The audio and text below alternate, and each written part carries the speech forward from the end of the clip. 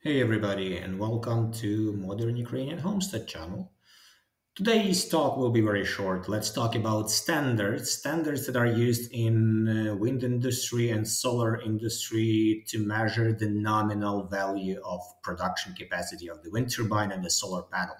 This is important because I have seen many times that people don't understand how exactly does it work and what does it mean that the for example, the wind turbine is 2 kilowatt or 1.5 kilowatt or 10 kilowatt.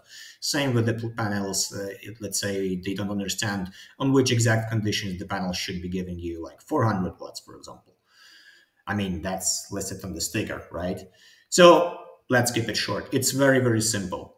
First, let's start with the wind turbine. The nominal value, nominal power value of the wind turbine is given by the industry standard at the winds, which are 15 meters per second. That's it.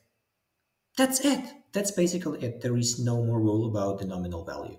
So everybody who claims it to be at more, at less, they are deviating from the standard because, I mean, there is a standard and everything else is not within the standard. About the solar panel, it's a little bit more complicated because uh, you have to match two factors, not only one, but two factors. Factor number one is solar irradiation it has to be 1000 watts per one square meter. That's a standard. And also the temperature on the panel has to be 25 degrees Celsius. These are the two values you have to match to actually measure the panel output.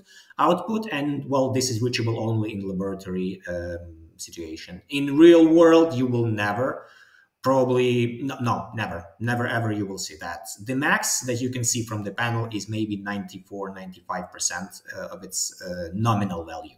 So let's say the panel is 500 watt rated you will rarely see more than 460 for 450 for 470 I, very very rarely 480 uh, reason why so because normally if the sun shines and i mean if the if the uh, rays are directly 90 degrees to the solar panel um, surface, you will never have the temperature.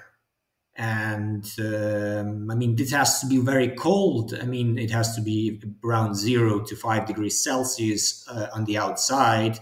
And you have to match this condition to actually get the max out of it. But still, no, it's never, never, ever possible.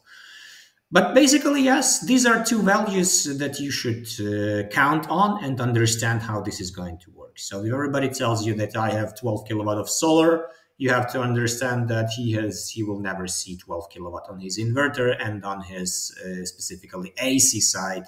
I mean, because also AC and DC also there are losses like about three percent. So DC is always higher than AC. That's also the the difference. That is why you always have to go a little bit higher. So solar clipping is what is uh, required to do with the solar panels and with the wind turbines.